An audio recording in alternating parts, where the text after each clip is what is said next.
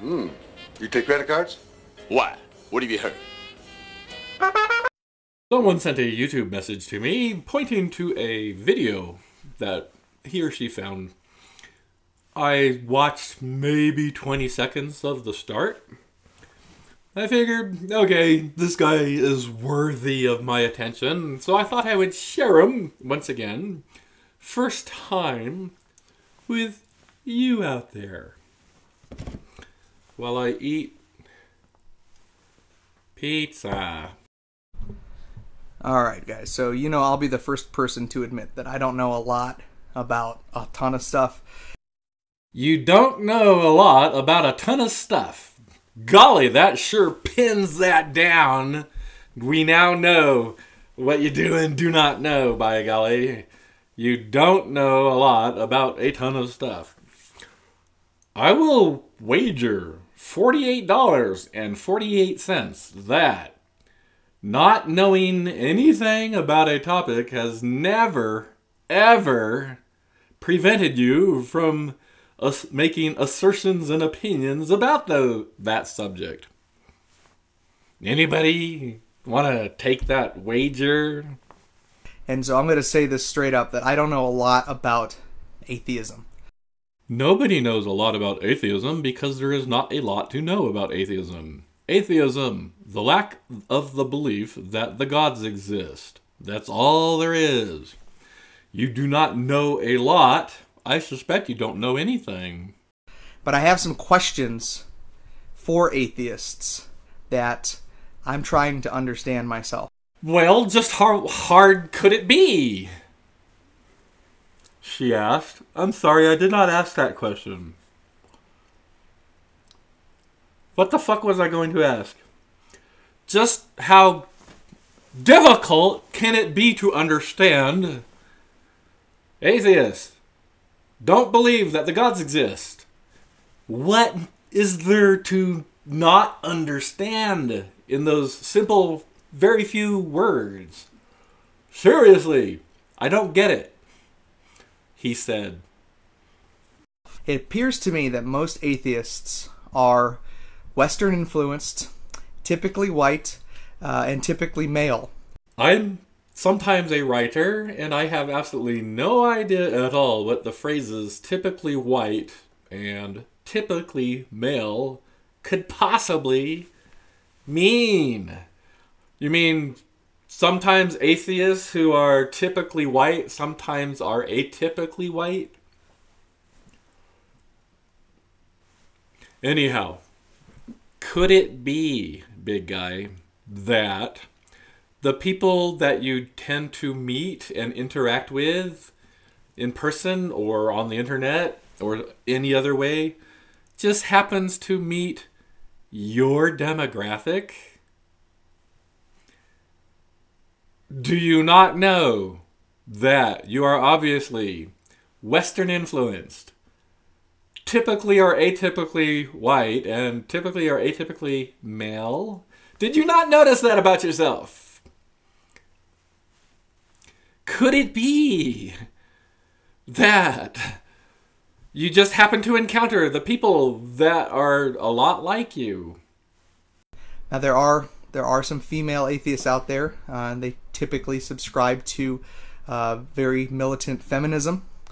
There he goes with the typically again. Typicallys. Typicallys, wasn't he like a Greek hero?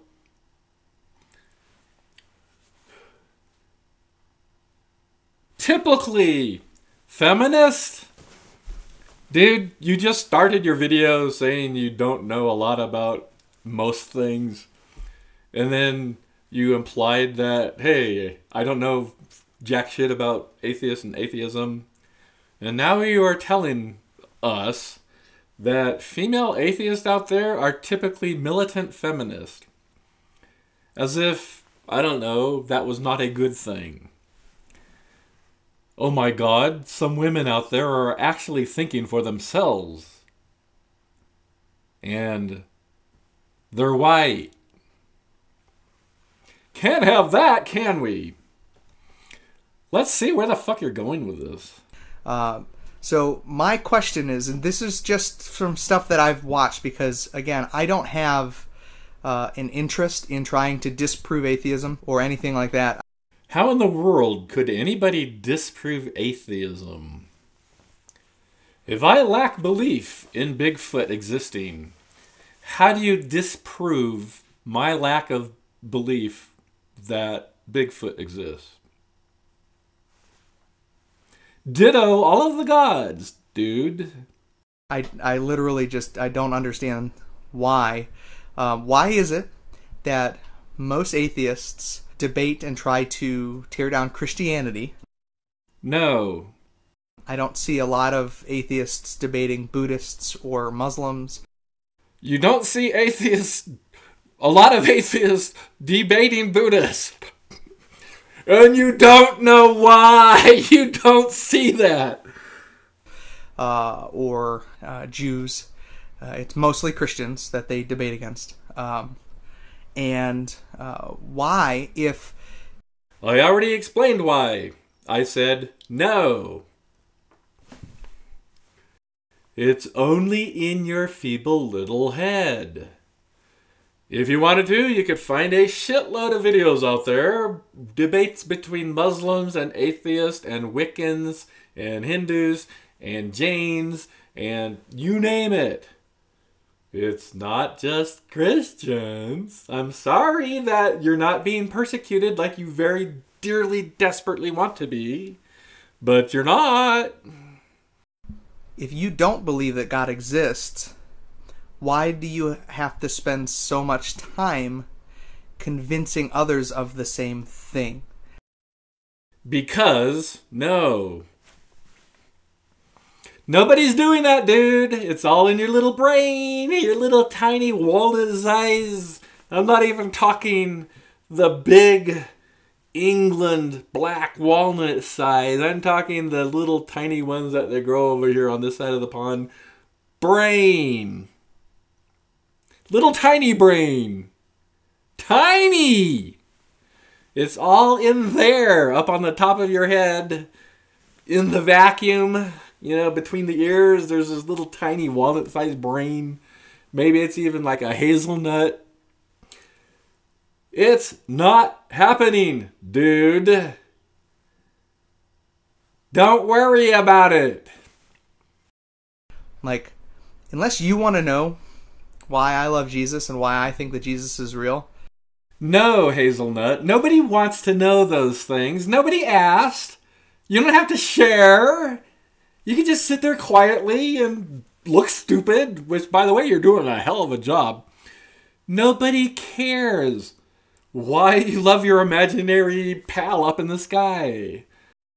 uh, I'm not going to spend my time convincing you of that. Uh, and again, that's why I don't really know a lot about atheism because I don't have enough time to focus on my belief in Jesus Christ to focus on your non belief in a God. But that's it. It took three seconds or less. You don't have time for three seconds. Lacking the belief that the gods exist. wow, that took so fucking long! I need a nap now! Ah, was it good for you too, baby? Three whole seconds? uh, it seems counterproductive for me. It seems more like it should be live and let live. If your pursuit is intelligence, that's great. My pursuit is intelligence also. Uh, I very much believe in science. I very much believe uh, in a lot of things that you believe too, uh, except for I believe that there is a God and you believe that there isn't. You mean gods, plural. Tens of thousands of them that atheists lack belief that they exist. How many gods do you believe don't exist? So I just want to understand No, you do not want to understand. We all recognize this fact that you do not actually want to understand the fact that what atheism is, is the lack of belief that the gods exist. You do not want to understand that. We all know you do not want to understand that. We all know that you are a fundamentalist evangelical Christian, therefore, you do not want to understand most things. Why come out and tell us, oh, I just want to understand, when you know that we know that is bullshit? Why, if you are so adamant about a God's non existence, why do you spend so much time convincing other people of his non existence as well? The answer is no.